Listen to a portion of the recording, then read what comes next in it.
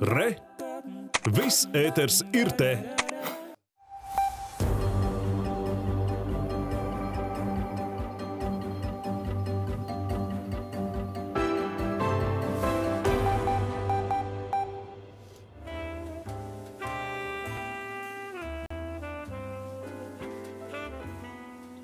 Labrīt! Šorīt vēl valdas salas, tomēr mākoņu daudzums jau pakāpeniski palielinās un arī dienā saglabāsies lielākoties mākoņains laiks. Daudz viet ir gaidām nokrišņi, gan slapja sniega vietām sniega veidā, bet kurzemes pusē gaisa temperatūra paaugstināsies līdz plus 2, plus 3 grādiem un tur ir gaidāms arī sasals ilgstošs lietus.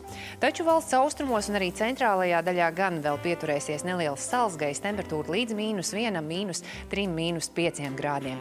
Rīgā rīts apmācies, vēl šobrīd gaisa temperatūra mīnus 6, dienā līdz mīnus 3 grādiem, bet vakar pusē kļūs siltāks un gaisa temperatūra paaugstināsies ap nulli, bet diena saglabāsies mākoņaina, brīžiem ar nokrišņiem, slapja sniega un sasalstoša lietus veidā.